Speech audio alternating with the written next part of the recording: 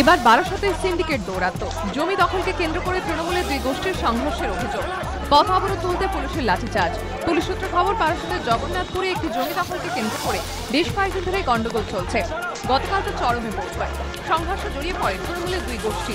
ঘটনার প্রতিবাদে আজ সকালে বারাসত ব্যারাকপুর রোড অবরোধ করে দলেরই এক গোষ্ঠী।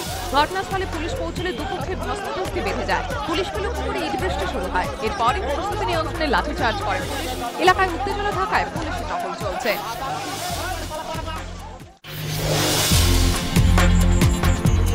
ক্রোয়েশিয়া ম্যাচে জোড়া গোল। নেইমার জ্বরে কাঁপছে গোটা ব্রাজিল, সামনে মেক্সিকো। নেইমারকে খেলতে দেব না, ইতিমধ্যে হুমকি দিয়ে রেখেছেন মেক্সিকো অধিনায়ক। কিন্তু এত কিছুর মধ্যে ধ্যানমগ্ন নেইমার।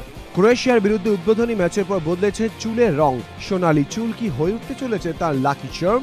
সেসব নিয়ে অবশ্য ভাবছেন না সেলেকাও নক্ষত্র।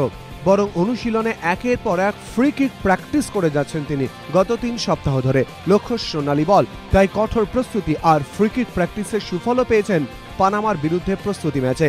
নেইমার নিজে কি বলছেন এই নিয়ে? ফুটবলার হিসেবে পেশাদার জীবন শুরু করার পর থেকে নিয়মিত সেট পিস প্র্যাকটিস করে থাকি আমি।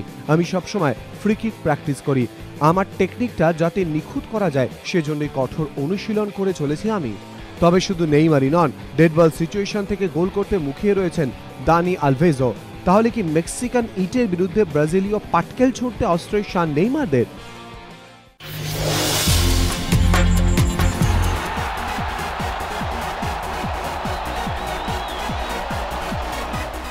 না, এই ছবি সালভাদরের অ্যারেনা ফন্টেনোভার নয়। জার্মানি বার্লিন শহরে সুদূর ব্রাজিলে, পর্তুগালের মুখোমুখি জার্মানি সাত সমুদ্র পাড়ি দিয়ে সে দেশে পৌঁছতে পারেনি অনেক ভক্তই। তা বলে উৎসাহে কমতি নেই কারোর। বার্লিনের একটি ফুটবল স্টেডিয়ামেই এদিন ছিল জয়েন্ট স্ক্রিনে খেলা দেখার বন্দোবস্ত। তিন হাজার দর্শকের জন্য পেতে দেওয়া হয়েছিল সাতশো আশিটি সোফাও। গ্যালারিতে ছিল ন হাজার দর্শকের খেলা দেখার বন্দোবস্ত। খেলা শুরুর অনেক আগে থেকেই সব আসন ভর্তি হয়ে যায়। এরপর মুলাররা যখন পরপর পর্তুগিজ নেটে বল জড়াতে থাকেন, উচ্ছ্বাসে ফেটে পড়েন দর্শকরা। তাদের দেখে বোঝাই যাচ্ছিল না, তারা ব্রাজিলে আছেন নাকি জার্মানিতে। পর্তুগালের বিরুদ্ধে জার্মানি দারুণ জয় যে তাদের অনেকের ব্রাজিলে যেতে না পারার দুঃখ ঘুচিয়ে দিয়েছে, তা বলাই বাহুল্য।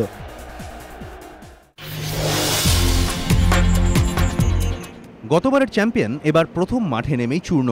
স্প্যানিশ আর্মাডার ওপর এখনও দুঃস্বপ্নের ছায়া। সেন্ট ইকার নামে পরিচিত ইকার ক্যাসিলেস ছিলেন। তবু বিশ্বখ্যাত গোলকিপারকে ফাঁকি দিয়ে স্পেনের জালে পাঁচবার বল পাঠায় ফ্লাইং ডাচেরা লজ্জাজনক হারের জন্য আগেই ক্ষমা চেয়েছেন ক্যাসিয়াস।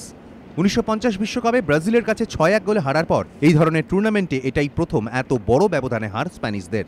তবে হতাশা নয়, এবার ঘুরে দাঁড়ানোর লড়াই শুরু তাঁদের। সামনে লম্বা ক্রীড়াসূচি। স্প্যানিশ ডিফেন্ডার সার্জিও রামোস বলছেন, অতীত ভুলতে চান।